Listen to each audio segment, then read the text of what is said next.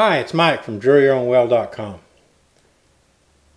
At our house, we originally had an open loop geothermal system where we pumped well water through the heat pump and then back down into three injection wells. On the screen is an example of an open loop system from EarthRiverGeo.com.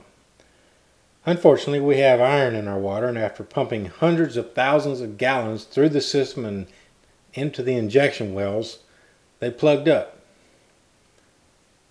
we decided to switch to a vertical loop system where water is circulated through closed loops of high density polyethylene pipe, commonly called HDPE, that are inserted into holes drilled into the ground.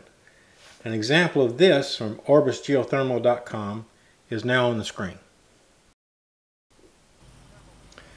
We have a 4 ton heat pump, and the rule of thumb in our part of the country is to use 250 feet of vertical loop for each ton of capacity. So we needed a total of 1,000 feet of vertical loop. I drilled a few of the holes myself just to find out if it was practical for a person to install their own vertical loop system. It isn't.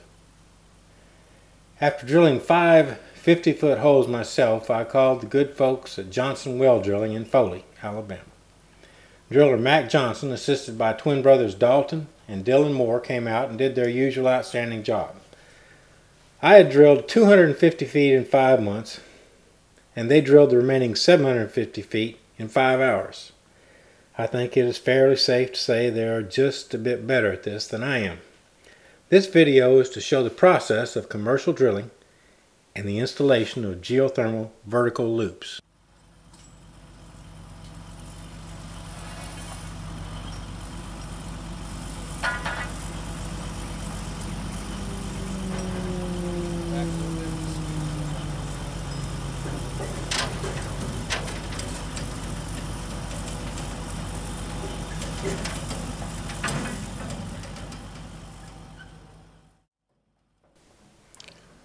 First, the derrick is raised, and then the portable mud pit is lowered into position.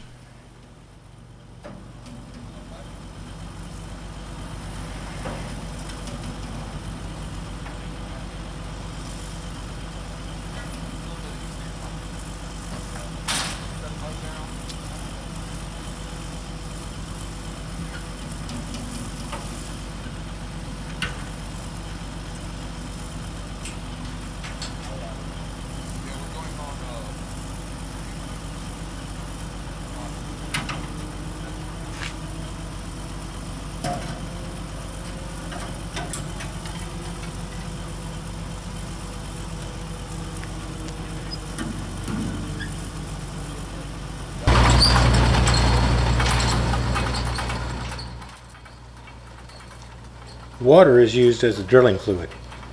It is supplied by a water tank parked uphill from the drilling site.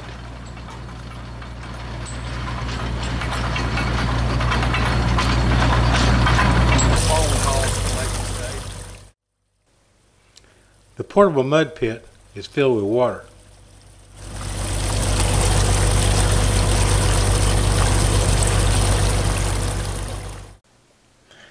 This is the drill bit that will be used to drill the wells.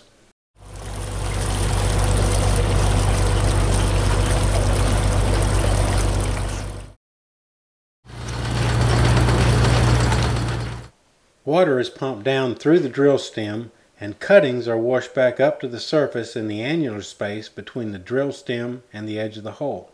The cuttings, in the form of sand and clay, must be continually shoveled out of the portable mud pit.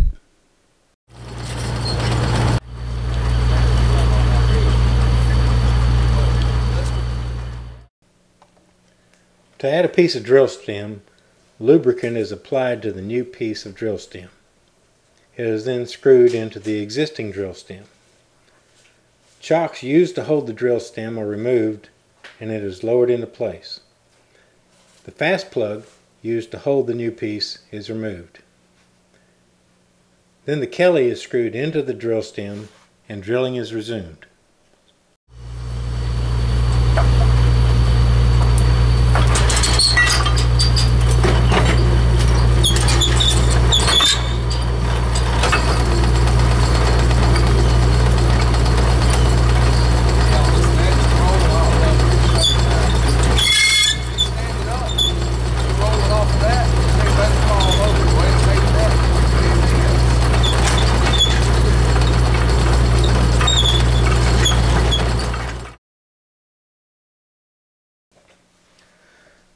Two red hydraulic units are powerful mud pumps used to circulate the drilling fluid. The blue pieces on top are dampers that smooth the flow of drilling fluid.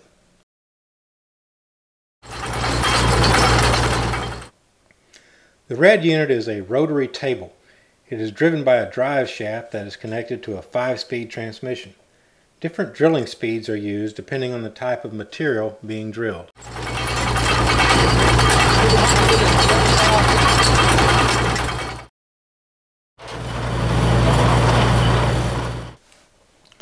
Bentonite clay is added to the drilling fluid to solidify the sides of the hole. This prevents the sandy walls of the hole from caving in, thereby permitting very deep holes to be drilled. Note that the bentonite is being added just above the suction hose for the mud pumps.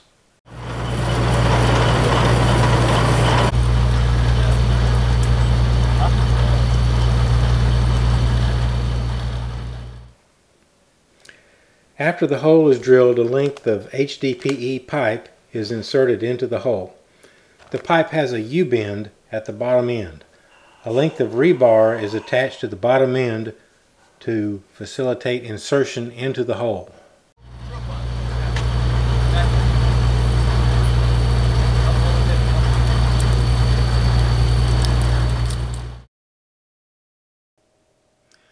This is a 250 foot loop of HDPE pipe.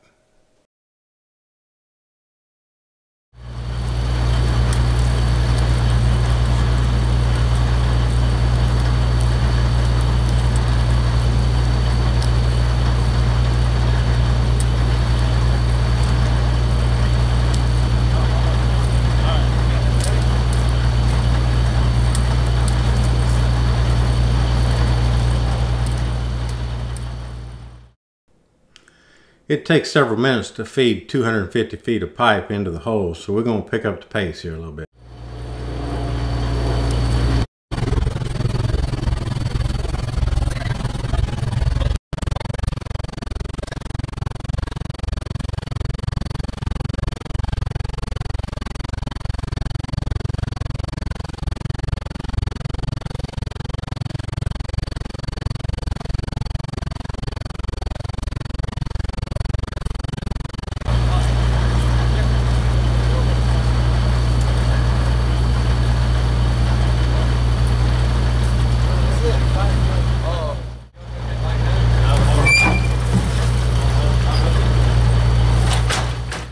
Next, the portable mud pit is loaded back onto the drilling rig. As it is loaded, the HDPE pipe is pulled free. Then the drilling rig can be moved to the next drill site.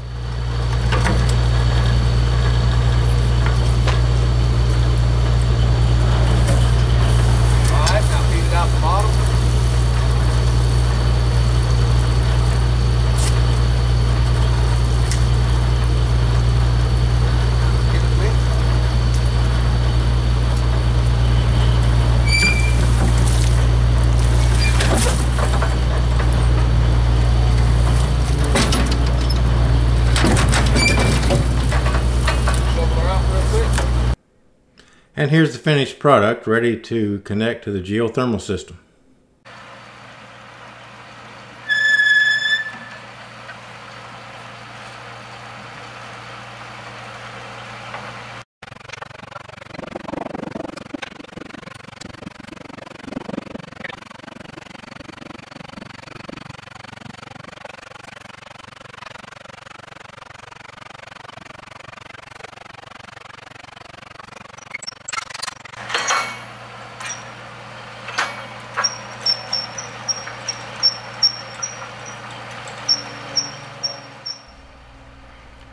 As the drillers move on to the next hole, let's look more closely at a few steps in the process.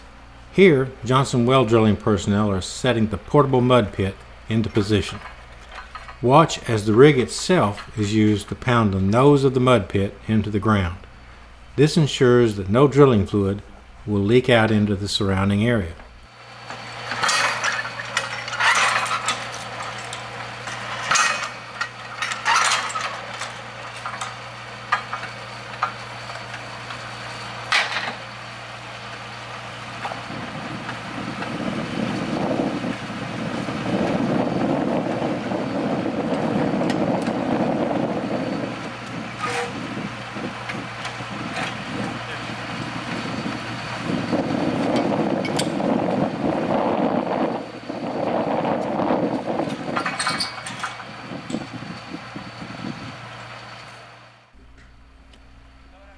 Now the drill bit is being installed.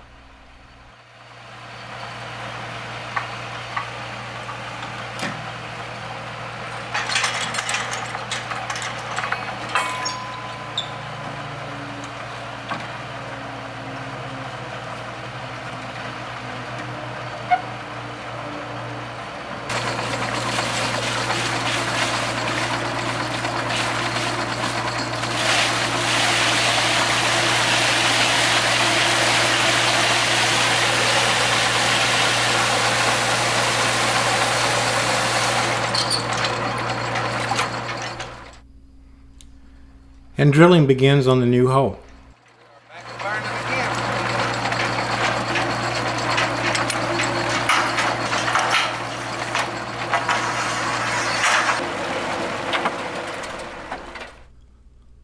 Watch closely as a new piece of drill stem is added.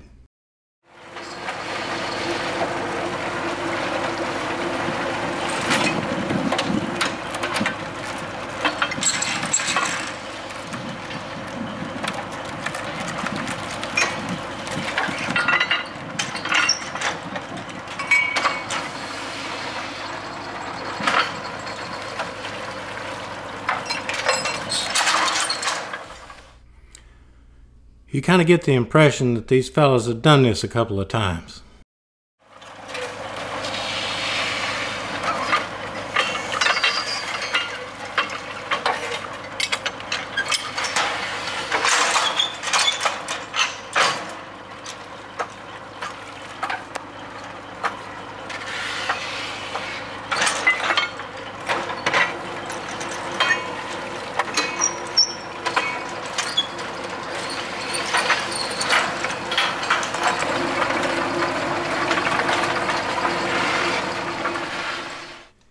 Here's another look at the process of adding a piece of drill stem.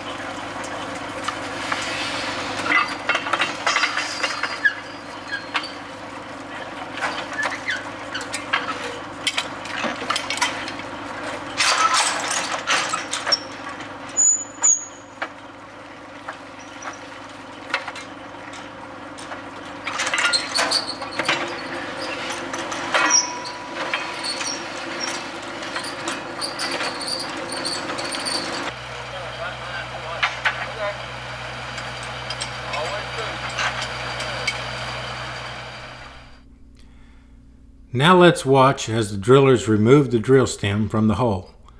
This is known as tripping the pipe out of the hole.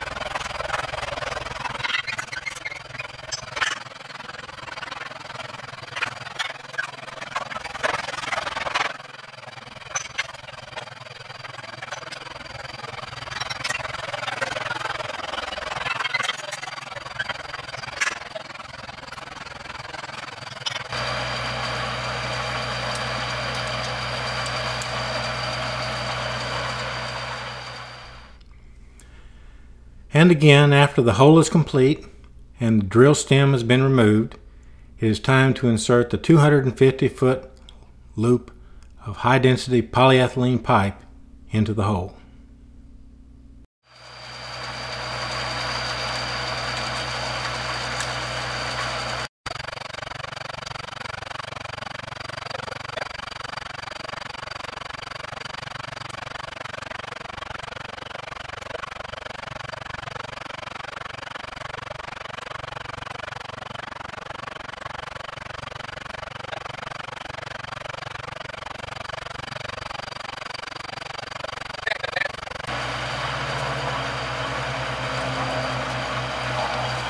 Hold up here with it. Come on. Still trying to go down the hole. Many thanks to the folks at Johnson Well Drilling in Foley, Alabama for permitting us to document the drilling and HDPE geothermal loop installation process. Thanks for watching.